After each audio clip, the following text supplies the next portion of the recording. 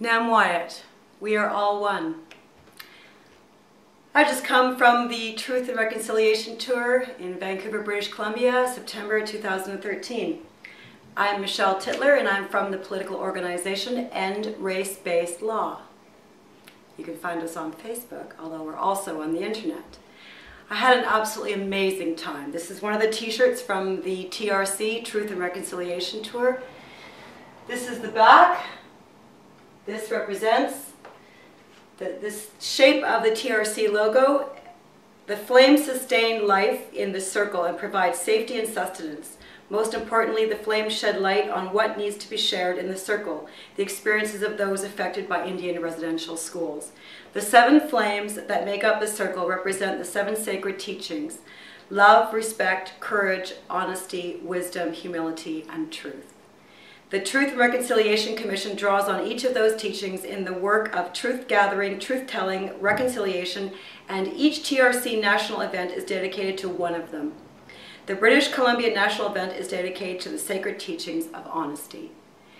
It was an absolutely amazing event. Too bad for anybody who didn't get a chance to make it out. Uh, school kids went, uh, UBC closed. It was just, it was an outstanding event. It was so well organized, so well planned out and thought out. Uh, quite clearly a tremendous amount of money had gone into it too because it was, it was extensive. And so worth it. Absolutely what should have happened. And I wish everybody had been there, really. It was that important. Um, it is a part of our Canadian history and um, these people really uh, did did suffer some losses and damages uh, through the, the Indian residential schools.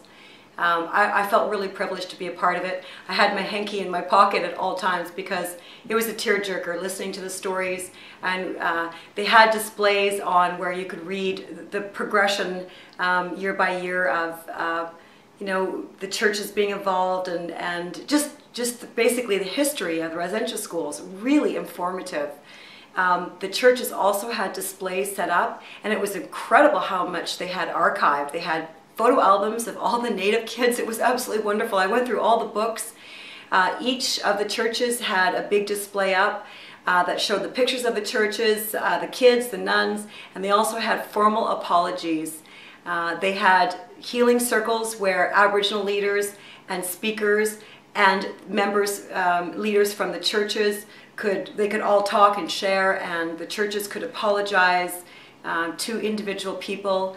Um, and then of course in the Agrodome there was the big, uh, it was really brave of those people. I want to thank all the people that got up there and told their stories in front of the world. It was webcast and um, the auditorium was packed most of the time. It just took a lot of courage to get up there and do that and you could see the healing that was going on as they were sharing. That's a really important thing for any person. It doesn't matter what religion, race, uh, or nationality or culture you come from. Uh, when you've suffered some trauma or some abuse, um, it's just, it's incredibly uh, healing to share your story and to have people validate you and, um, and help you out uh, support you. Uh, you, you, it was it was just it was a remarkable experience. I, I went I, I, went up to strangers and talked to strangers. I sat around the uh, sacred fire and uh, had a lot of fun with some people that I'd never met before. I went there for two days and it really took two days to absorb everything that was going on. And I'm going to say again, it was incredibly important for everyone, for the residential uh, school survivors and for Canada, to for everyone to acknowledge that this was a bleak part in our history. Mistakes were made. There was a lot of good that came out of the residential school as well. We've posted many stories on our um, Facebook page, End Race-Based Law. Uh, there were good stories. It's that for the people that were damaged, um, they really needed some uh, healing, and that's what this was about. The word reconciliation, I looked it up, even though I know what it means, I looked it up. And one of the definitions I found was restoring mutual respect between individuals from different cultural backgrounds. The reestablishing of cordial relations. Harmonizing, balancing, accommodation, resolving, compromise, remedying, rectifying. Now, the most important one that I thought was interesting was restoring mutual respect between individuals from different cultural backgrounds. This Truth and Reconciliation Tour is, is mostly for the Aboriginals to heal from the damages that were done and the loss of their culture, that kind of thing. But it's also to reestablish, to reconcile with the people of Canada and with our country as a whole. And um, I'm really hoping that that happens from this because during my time on End Race-Based Law, we started up when Idle No More got going. Um, we didn't find any kind of reconciliation coming in from the Aboriginals. In fact, what we experienced was enormous abuse, the likes of which I've never seen before anywhere in this country. Racism, the likes of which I've never heard before in all of North America. And one of the things that we Canadians uh, want to share with you now, this is now my truth, and my voice and our voices. I represent this organization and have heard from many, many Canadians across the country, um, and we have voices too. And our voices are not being heard in any of this. Uh, we recognize that healing has to be done for the residential school experience, but we also know that um, innocent taxpayers are being pummeled uh, by the Aboriginals court case after court case after court case, and it never gets better. Uh, we're hoping that once this reconciliation, truth reconciliation tour ends, that there really will be reconciliation. And many of us are very skeptical about that because it seems as though this is also got a secondary agenda attached to it, and that's your political agenda to uh, bully our country. And I'm going to use the word bully because in all my life I've never seen such bullying as we saw during Idle No More. And I want to tell you what it's like to have a, um, a page on Facebook and have people come onto your page whom you've never met before. They don't know you, you don't know them, and they come and scream in capital letters, you raped and murdered our children. We got that by the thousands. Kids who are 20 years old telling us that we raped and murdered their children. This is part of our voice when we say we need that reconciliation from you. You need to get in there to your communities and aside from doing the personal healing that's going on, also recommend to people that the average Canadian did not indeed rape or murder any of their children. But that's the dialogue we're hearing. I loved that event so much. I was so impressed by all of it, all the way up until the end when you, Chief Wilton Littlechild, did your little speech. You wrecked the whole thing for me. Remember me? I walked up beside you during the procession as you were all walking out, and I said to you that Canadians lost something too because you were up there talking. My camera happened to have, uh, the batteries just went dead just as you started your speech. I got a bit of it. Uh, but I didn't get all of it, so I have to just go by memory. And I will tell you, you made me mad enough that I stopped even listening to you at a certain point. Um, and it was the part where, well, first of all, you were saying thank you to uh, the sponsors. And one of the sponsors was Kinder Morgan, the pipeline people. And the audience booed. And you didn't do anything about that. These people were giving you money. And you just let that go on. I realize you can't control the audience, but you certainly seem to think so about everything else, didn't you? You were inciting hate against Canada, and I'm going to say it just like it is. You stood up there so arrogantly as though the residential school experience now gave you the right to say, okay, Canada, now we're going to tell you what to do. You see, we're so strong and resilient, now we're going to tell you what to do. And that's exactly what's happening with the pipeline. I didn't like your attitude. I loved everybody was that was there. It was such a great, I met, I made friends. I exchanged phone numbers with people. I talked to so many people, it was incredible. Any of you watching this video who saw me there, you all remember me there because I walked around that much and talked to that many people. It was awesome. It was a great experience and I'm so glad we did it. I really do wish healing for the people that went through those experiences. I myself have been through enough abuse in my life that I know that those healing circles and that kind of sharing and that kind of honesty is critical to moving on and to getting over those kinds of things. I've said in one of my other videos, get over it, but you have to do the work to be able to get over it. And I saw some women giving their testimonials. How brave was that in front of the whole world on webcast?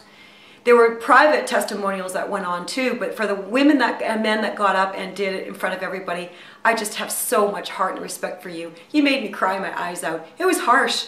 It was a very emotional two days. Uh, I was with you all the way. I, I, just think this is one of the most important events that Canada could have done when, regarding this issue. And that means it does have to bring You guys have to make a commitment now. What Canada committed to this uh, Truth and Reconciliation Tour, and I heard politicians get up there and make commitments to you, and now I want you to make commitments to us that there will be reconciliation because we haven't seen it at all. All we've seen is the blame game. The extortion has been absolutely outstanding. And you, Chief Wilton Littlechild, said in your little speech, big speech, what did Canada lose? We lost our culture. What did Canada lose? We lost our language. What did Canada lose? You just kept saying that over and over again and you listed things after, and that's what I came up to you for.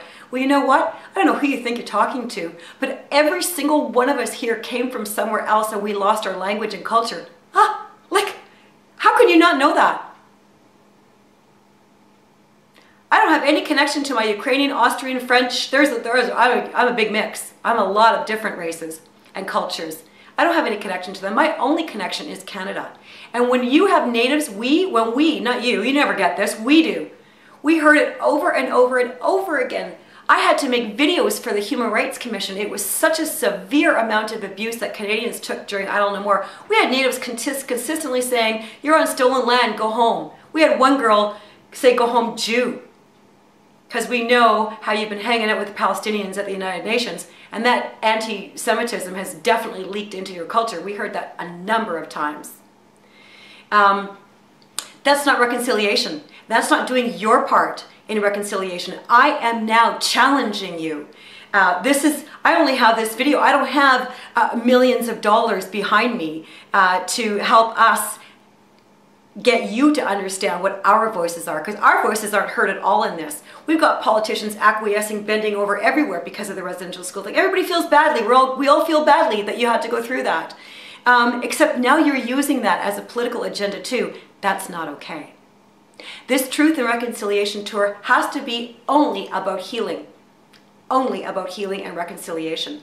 And your part of the reconciliation is not only forgiveness, but you need to get into all of your communities. The way that you gathered people around to get them to talk about the residential schools, you need to now gather them all around and talk about their racism. I've never seen that kind of racism in all my life, never heard it. No one in North America would be allowed to get away with the kind of dialogue we heard and still hear from the Aboriginals. No one. They'd be charged. It would just, they would lose. It's, it's unbelievable. Now, because I want to end race-based law, many people do, we want to abolish the Indian Act. I'm sure you may agree with that. But we also want to take out Section 35 of the Constitution, which gives you special rights.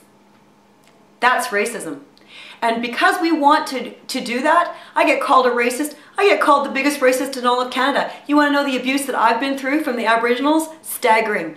There's a police investigation going on right now for criminal harassment. That's how severe it's been. I've never seen anything, I've never seen that kind of dialogue. I mean, eh, you guys have abuse issues. They're real. And they don't just come from the uh, residential schools. They also come from your own cultures. The nuns recorded an incest problem when they first arrived in Canada or on this land. It wasn't called Canada yet. And I want to know why, if you can talk about the sexual abuse and the abuse from the residential schools, why you can't talk about the abuse from your own people that you've committed against each other. You can't just keep using the residential schools to blame, blame, blame, blame, blame. It's not a good enough excuse. And now you're using them to bully our country. At the very end of the speeches when you were um, mentioning all of the sponsors. You mentioned Kinder Morgan, the pipeline people, and everybody booed. You realize that oil comes to you through those pipelines. Millions of miles of pipelines run all across North America, none of which you helped build. And, but you're using that oil. You got SUVs and look at uh, Chief Spence and her uh, Escalade. Uh, I'll go and tell you, I found that was about the time at which I stopped listening to you. I was so pissed off with the way that went down. You didn't stop that. You didn't say anything about that. You actually started bragging about how you were all standing up now and you're going to be really big and strong and you're going to tell Canada what to do. Well, you know what? You're not going to. We voted for a democratically elected government, a majority government, and you are not it. And just because you had to go to residential schools doesn't mean you could start to bully our country now. That's not the way it's going to work. That industry, that's our way of life, our culture, it's also the tax dollars that we give you to sit around waiting for you to heal from the residential schools. We saw you get active to be able to get up and protest during Idle No More. Well, we want to see you get active to hold your own leaders accountable the same way you held Canada accountable. And Chief Littlechild, you also said your leaders were doing a great job. Not true. Your leaders are doing a terrible job. That's quite apparent. Um, the racism is unbelievable. The corruption is incredible. The greed is absolutely staggering. People living in squalor after innocent, innocent taxpayers have paid tremendous amounts of money to keep you guys going and nothing's working. This, this tour uh, this tour has to be the beginning of the end of the blame game and it has to represent you're getting into your communities and doing the proper ther therapy that you need. There was one woman who got up there, she was my hero. Instead of blaming, she got up there and said that she was responsible for her inner, inner child. She was responsible for the anger. She even called herself, she was so cute, she said, I'm going to swear, I was an asshole. She talked about how she couldn't um, give love properly, how she had rage and anger and abuse and substance abuse issues. She took full accountability for her life and for her abuses and for her addictions. She was outstanding. She just was really the belle of the ball in every way. Um, she knew where it was at. And I want to suggest to you that even though we all know there were some great stories that came out of the residential schools, we posted some of those stories. None of those people were allowed to be part of the Truth and Reconciliation Tour. We know that too. We know that only the people who had bad stories were allowed to be part of this tour. We understand that's biased. We also understand that the residential schools didn't work for the Aboriginals, but really, you know, you know that people were just, they really thought they were doing the right thing, and you have to take that into consideration. They did think that they were doing the right thing. Would it have been better? I think we all have to ask ourselves that. Would it have been better if the Aboriginals didn't get any schooling at all? If the residential schools never happened and every one of those bands, which are tribes, um, were left alone? Where would they be now?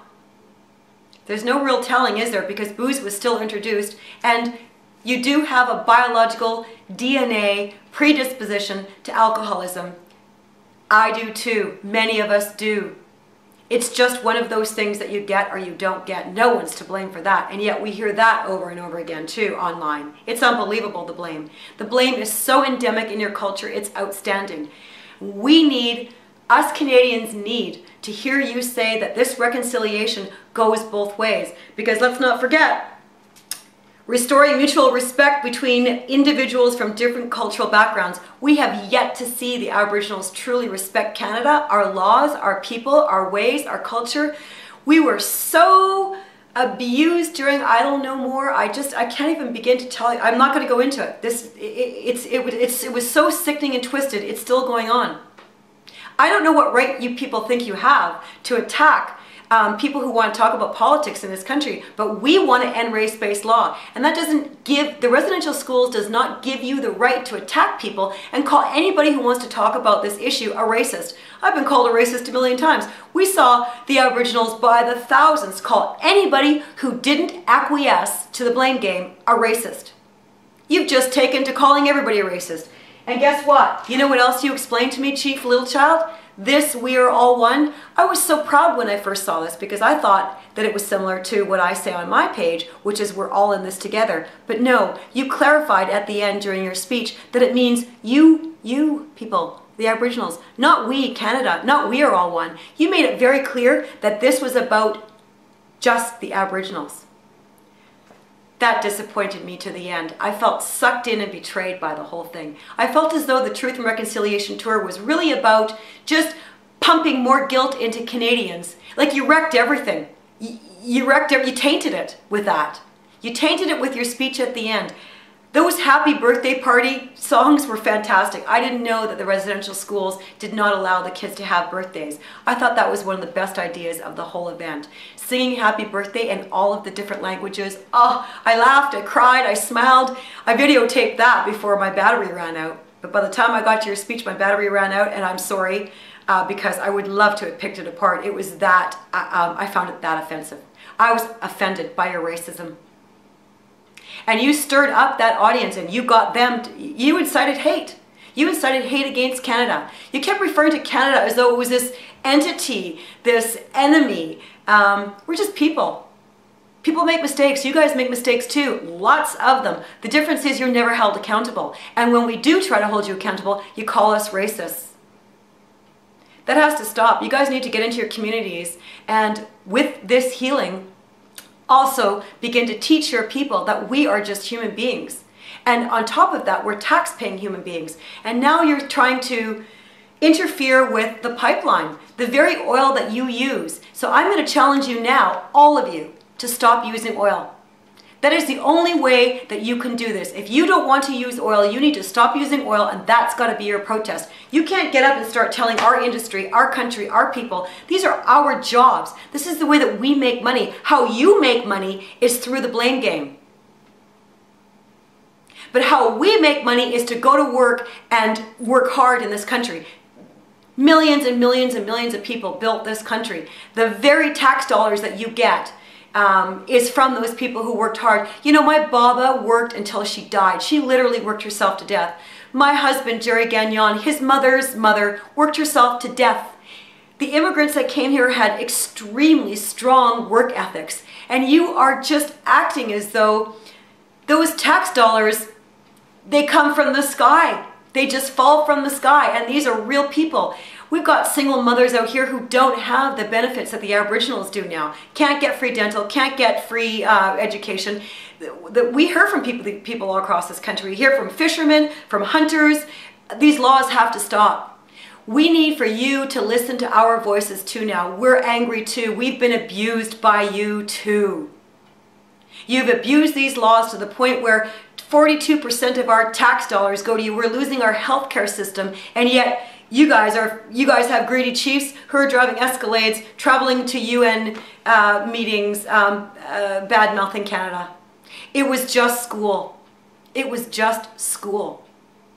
And it may not have been ideal, but I'm not responsible for one nun's actions. I'm not responsible for one priest's actions. And even though the idea was to get you to assimilate, I don't know why that's such a dirty word. The whole world has to assimilate as time goes on and cultures morph and change all the time. People migrate. Do you know what it's like to have natives come to your page and say, get off our land? We own land here.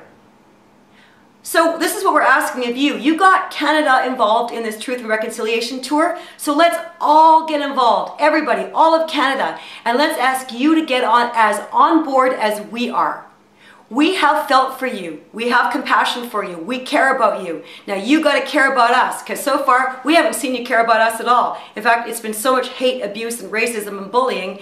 Uh, once again, staggering. So your part in this is to stop that arrogant superiority, racist bullying. You know, you talk about being oppressed and all that kind of stuff. Well, you oppress your own people. You bully your own people. Your chiefs keep their own people on those reserves so that they can get the money. You need to deal with your own issues. Canada is evolving. We're, we're a nation of people that are learning as we go along. That's what all human beings do. We're part of the human race here. We have way too many races in this country to have one race dominate. Stop calling it white privilege when it's not white privilege, it's Aboriginal privilege. Nobody else gets special laws in this country. We have to have equal laws. And you can't just call somebody who wants to end race-based law a racist, and that's what you do. Any Canadian that does not acquiesce and bend over, you call them a racist. Over and over, it's a standard thing. And if that doesn't work, you go blah, blah, blah, residential school, blah, blah, blah, residential school. Not good enough anymore. Do the work, do the healing, get the therapy, take accountability, own your own stuff. And please remember that for any of you that have been abusive, substance abuse, um, perpetrated abuse against other people, how do you know what those nuns didn't go through when they were children? Did it ever occur to you that they may have come from abusive families? From a father who drank too much and they ran to the monastery, they ran to the church to find some kind of salvation? They didn't have children themselves. Maybe they didn't know how to raise children. Same as you, losing your uh, children and then losing your parenting skills. Same with the priests and same with the nuns. If we can all have compassion and understanding for you and what you've gone through, then maybe you need to look a little deeper to the root causes of those nuns. And to also remember that times change as, they, as the years go on and we learn as we go on. Corporal punishment was acceptable when I was growing up. Nobody's, nobody's kid got taken away because they got spanked. And now you can't touch your kids. So you got to give Canada credit and you got to say thank you as well as just blaming. It can't just all be blame. And you have to think very, very, very hard about what your lives would really be like had the rest of the world gone on into this modern 21st century and you had stayed stuck where you were. Many of you are still stuck. How do we emancipate you without you crying assimilation? And what's wrong with assimilating with the other cultures that are going on around you and integrating? What's wrong with that? The rest of us do it. I don't have any attachment to my, my past. It would be nice, I'd like to, but I don't. And you guys, you have the luck of the draw in that you weren't displaced. You really do still have this land uh, to share. When you say this, that we're on stolen land, first of all, let's get one thing clear. Nobody stole the land, the land is still here. That's just your racism talking. And I want to make it a human rights commission. I want to make it hate speech that you talk to Canadians that way. We're not on stolen land. This is our home. Our ancestors are buried here too.